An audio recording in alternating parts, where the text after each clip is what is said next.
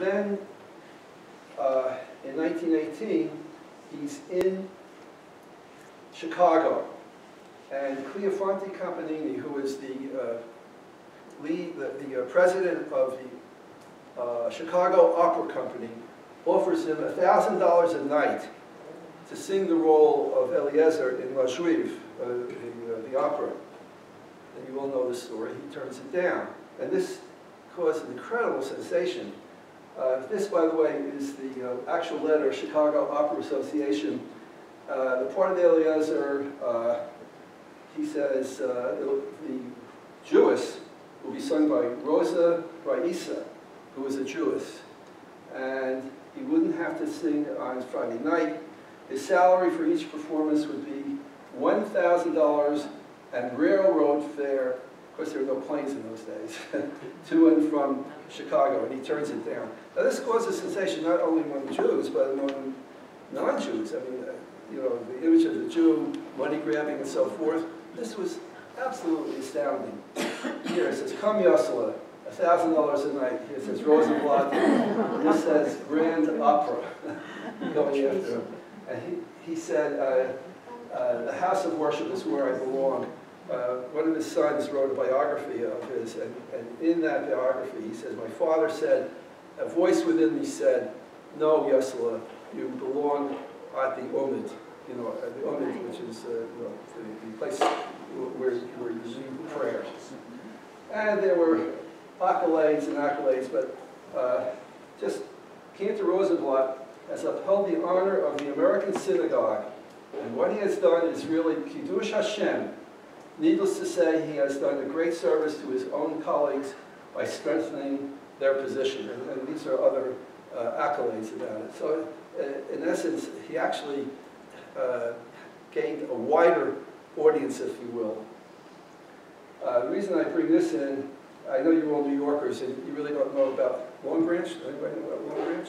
It's near Asbury Park. Okay, and Malavsky, who is one of my favorite cantors, Rabbi, people are always asking me, who's your favorite? One of my favorites is Shmuel who was very, very close with uh, Rosenblatt.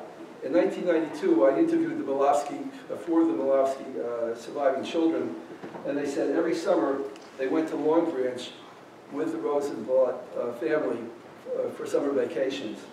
And the reason I put in Ocean Grove, there's a little town between Asbury Park and Bradley Beach that's owned by a church. And they have a huge concert hall. And every summer, I don't know how this worked out, but Rosenblatt sang in that uh, Ocean Grove uh, arena, if you will. And here's a picture of Rosenblatt with Malavsky.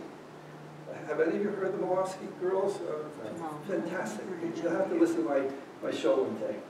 Okay, now, what is the greatness of, uh, of what he did?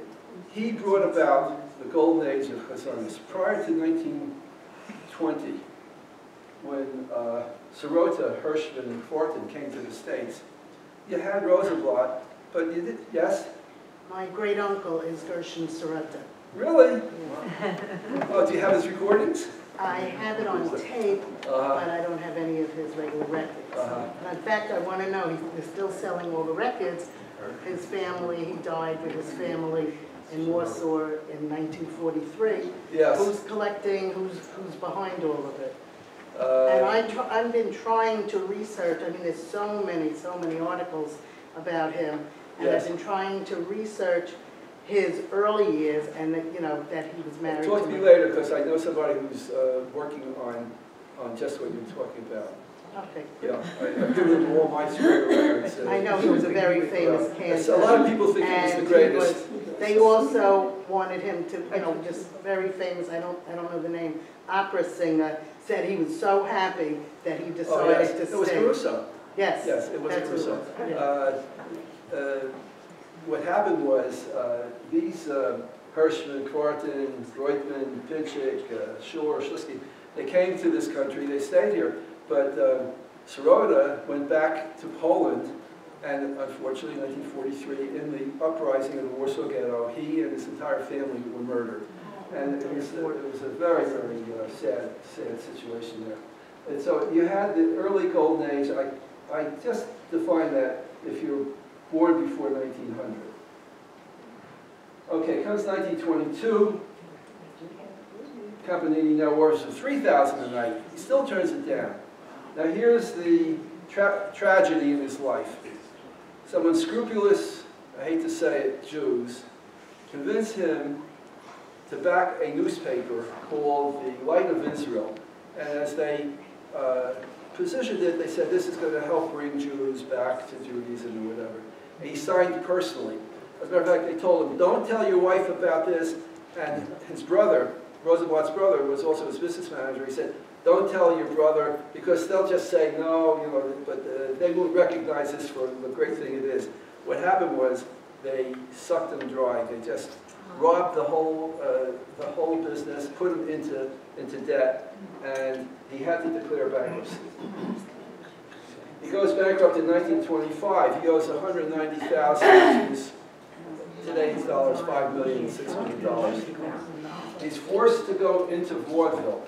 Now, as I mentioned before, vaudeville was on its way out uh, because you had radio, the rise of radio in the 20s, so people didn't have to go uh, into those, uh, those parlors.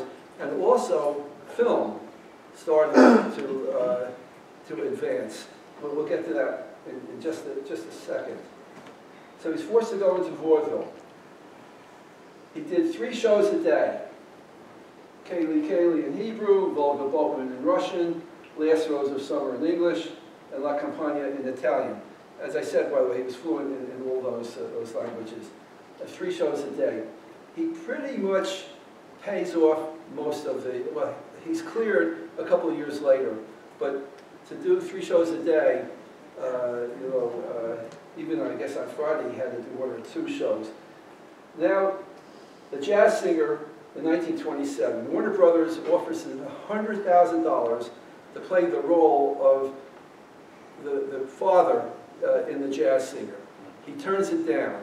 Now, you know who uh, uh, was in, the, in that movie. I guess you can see it here, uh, Al Jolson, okay?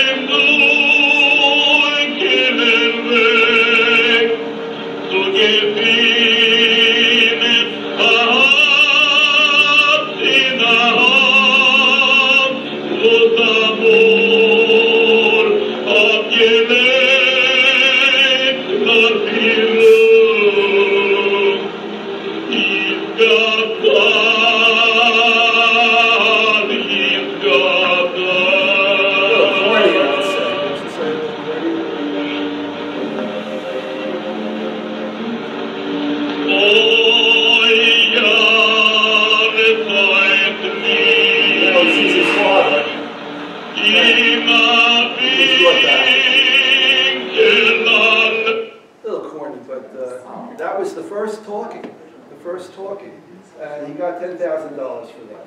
Now he's on a U.S. tour, he meets Chaplin. Chaplin says, Mr. Rosenblatt, I have every one of your records, and whenever I want to connect with my roots, I sit down and I listen to your records. So apparently somewhere way back when he, he had some Jewish uh, blood in him, Chaplin.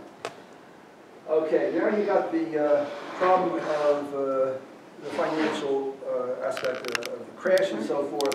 In 1928, Anshe Sfard in Borough Park offers him $12,000 because uh, the, the other shul uh, runs out of money. Goes on a tour of Europe, and here is an actual program from 1928. Uh, uh, Yiddish, Yiddish, English, Spanish, Hebraish, Spanish, Italianish, Hebraish, Yiddish, Hebraish. So he, he was, he, he was an all-around guy. I mean, this is uh, an actual um, uh, program from, from that year. Ohab Zedek uh, now offers him 9000 because uh, Anshe Sfard runs out of money. So now it's 1933. He's penniless. And I talked about the, uh, the two things that were sort of uh, coincidental in my life. Uh, collecting his records, that my father was from Bukovina. In 1964, after I graduated law school, I picked up and I said goodbye to America, and I got onto this boat called the Vulcania.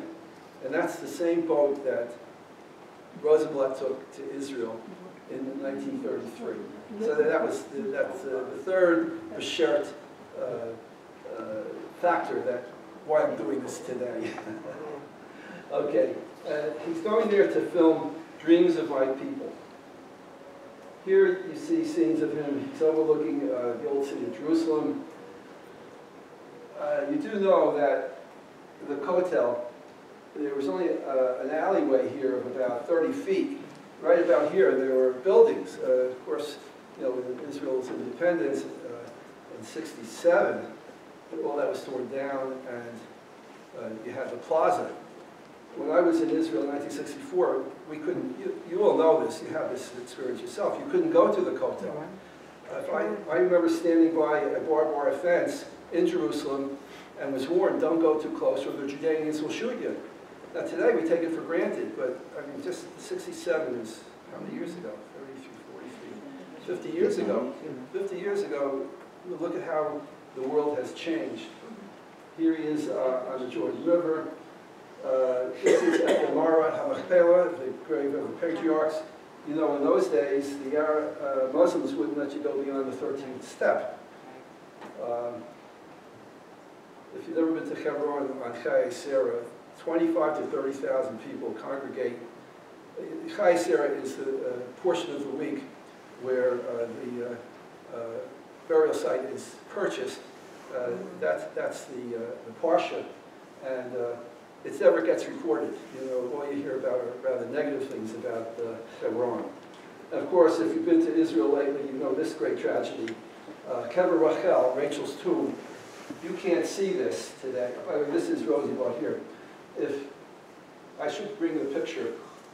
There's a gigantic wall, 30 feet high, that surrounds Rachel's tomb because these wonderful,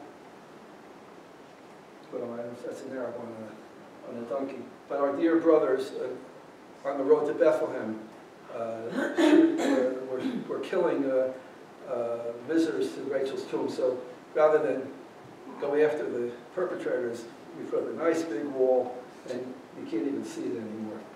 And here's the last picture of Rosenblatt alive in the old city. Uh, These are uh, flyers for different concerts. Wherever he went in the world, he did free concerts for this yeshiva, that yeshiva. Uh, It it was an amazing thing uh, how he, how how his charity uh, was just uh, uh, legendary. He dies at the age of 51 on June 19th, 1933. And here, I don't know if you can see this, this is Tantron Edison. Now, It's interesting that uh, this concert, two days after, uh, after he was, uh, um, uh, he died, uh, he was supposed to sing at the uh, Edison Theater, uh, Rabbi Yosef Rosenblatt. It's an actual ticket from, from that concert. He's buried in the Mount of Olives, RS 18. This is a death notice. And if you want to talk about tragedies, this is a letter from Rabbi Kook to Kvartin, Zavel Kvartin, to lend Tabla money to return to the United States.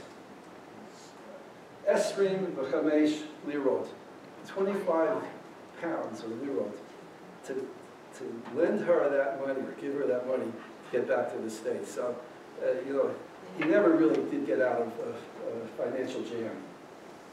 So he had eight children. Uh, This is a picture of Rosenblatt and his wife. Uh, There were two daughters and five, um, three, three daughters and five sons. Okay, Samuel, Leo, Nettie, Gertie. Now, Paul Dennis. Paul Dennis was a, uh, an opera singer uh, at the Met. He did not want to be accused of uh, living off of his father's reputation, so he changed his name to Paul Dennis. He was not, nowhere near uh, as great as his father was. Uh, You see Ralph at the, uh, at the end, 1913 to 2006. Uh, What happened was, um, in uh, 2002, a friend of mine, uh, Benny Rogoznitzky, and I formed Cantor's World. Some of you may have ever heard of it. We ran concerts in Lincoln Center, uh, and our first concert was a tribute to Rosenblatt, which I'll get to in a minute. Uh, But we also, have you heard of Helfgot? I guess some of you have heard Helfgot. Uh, We produced at the Metropolitan Opera, six years later, uh, in in 2008, uh, at the Metropolitan Opera, just Helfgot and the New York Philharmonic. We sold out, and we lost a lot of money, but that's a- another story. Okay, so here he has, uh, Sam has his grandsons, uh, Rabbi Jonathan, Rabbi Andrew is in Canada. My name is Ralph Rosenblatt. I'm the youngest of eight children. We were five boys and three girls. Sometimes I'm introduced as just the Rosenblatt son, and I get this, please don't tell me I know the son. Why I have to have to apologize for my yichus, my own yichus? I'm the only American born. We were five, five nations in the family. Pop was born in Russia, Mom in Poland. The first three were born in what was then Pressburg, Hungary, Austria-Hungary, but became Bratislava, Czechoslovakia. And Pop at all times needed money. And so he, there was a position open in Hamburg, and the next four of us were born in Hamburg. And the following year, there, someone came over in 1911 uh, to uh, just to attend the services, a, a New York businessman. He fell in love with Pop's voice and he invited him to come to New York. And in 1911, Pop came to New York and went and he sang in the Norfolk Street Shul. A year later, yours truly came into this world. So I am at the present time 90 years young. Okay, uh, he sings a song, uh, a melody that he sang with his father. Aili lo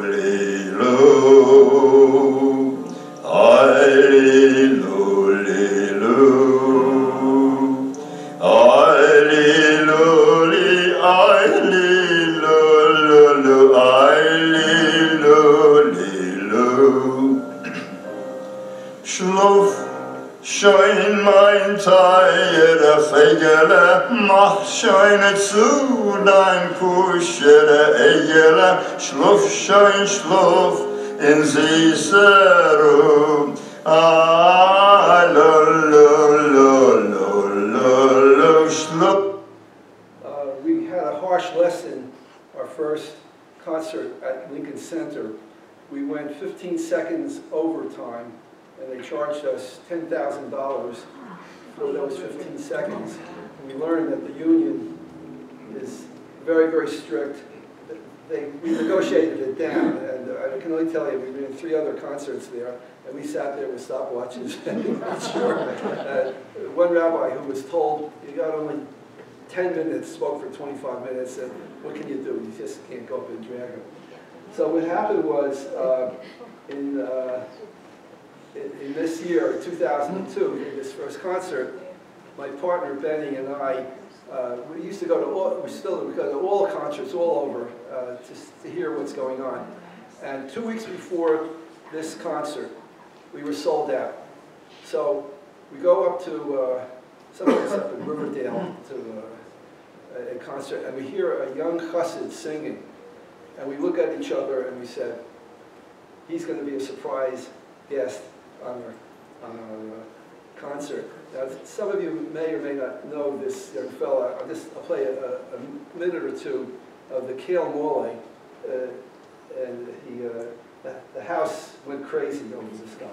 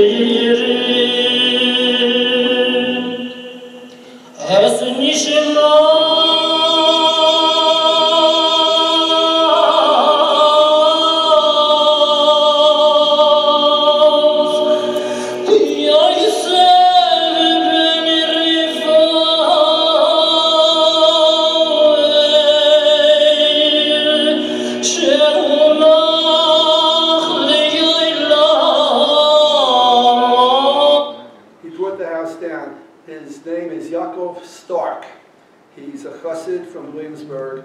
It's interesting. Uh, he's one of the, the better ones around, but he's not that interested in performing. Uh, I always tell young guys when they call me, uh, this, now I'm on 40 years, so I've seen a lot of cantors come and go. They ask me, uh, what should I do? Uh, I want to become a cantor. So I say, look, I don't know if you're a Helfgot. If you're a Helfgot, you could make a living, but if you want to earn $100,000 to just support three, four, five kids, a home, a car, insurance, uh, taxes, $100,000, it doesn't get you too far. And there aren't many cantors today uh, here in America that earn $100,000. So I said, go out, get a profession, and let uh, be your avocation. And uh, uh, it's funny, uh, uh, Adler, Chaim Adler, who was a great cantor from Israel, I interviewed him a few years ago, and I told him that. He argued with me, he said, listen, if a guy wants to become a cantor, let him encourage it, just encourage it, he'll find a way to make a living. Uh, that's, that sounds pretty good, I guess. So here are some album covers, there's just so, mu- so many uh, uh, albums um, and recordings of Yossele. So I have a website, charliebernhaut.com, and if you go to my archives, all my shows are indexed and archived. So there's 400 two-hour shows. I'm up to show 398 this week. So I have a little card. Uh, I'd love to, if you have the uh, inclination, just go onto the website. And uh, the first hour is a mix, Yiddish, Hasidic, American, uh, uh, Israeli. And the second hour is a uh, uh, strictly cantoral music. And just for the heck of it, you know, as a collector, if, if you're a collector and you go out, you're looking for something, you like to come home having something, right? Well, I have a problem. I have almost every record that was ever produced. Uh, and I'm always out looking for that one record that I don't have. As a matter of fact, on my way here, I went to Lawrence to someone's home and gave me, I have 100 records in the trunk, and I think there's one record I don't have. I took a quick look at it. Um, so, uh, you, I, uh, oh, I, I was looking for something different with my show. Eight years now uh, on the internet. So when I go out, still looking, I have a secondary uh, hobby of collecting comedy, not just Jewish comedy, but any comedy. And so about eight weeks ago, I added a third album, and I just take a whole album, When Your Love, the Whole World is Jewish, some of you, you know that one, The Call from Long Island, you, you know that one, okay? Rabbi, we gotta have that comedy uh, here sometime in the future. Anyway, so I, I have uh, another collection of, uh, of Jewish comedy and non-Jewish comedy. The problem is, I can't play most of it on the air because Jackie Mason, his language, if you listen to it closely, his language is horrible. And, uh, I mean, uh, he got worse. Uh, Years ago, he didn't curse as much. Uh, Everything was this or that. Anyway, uh, I welcome you to uh, uh, log on. No commercials, a lot of fun, and that's it. If you have any questions? Can we listen to some Rosenblatt? Yes? It was yelled at because I don't play enough of Rosenblatt. Let me just get this going.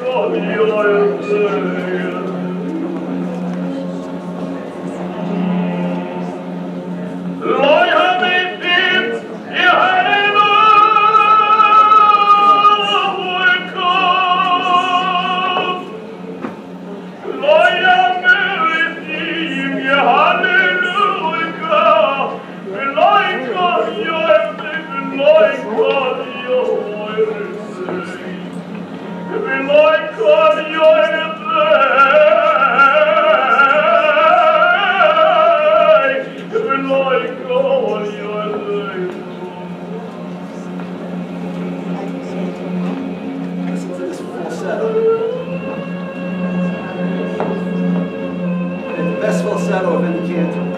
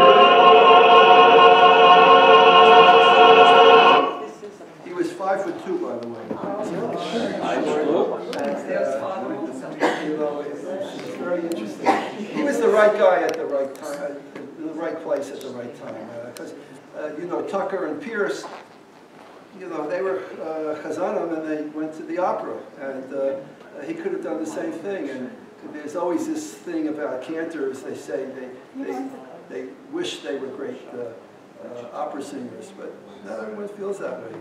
A lot of cantors, you know, said, I don't, I don't want to give up my calling uh, for the opera. Merrill, oh, Merrill was a disappointment. He never really, he recorded one or two recordings in, in, uh, uh, in Yiddish, but uh, very, very few.